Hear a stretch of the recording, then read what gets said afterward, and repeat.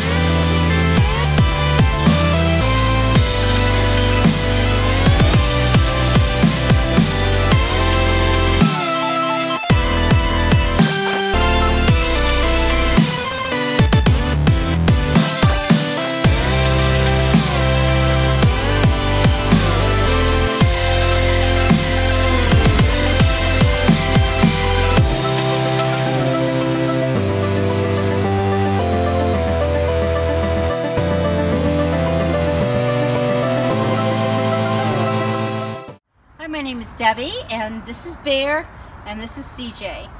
They both have gone through training, so thank you, Off Leash. Thank you.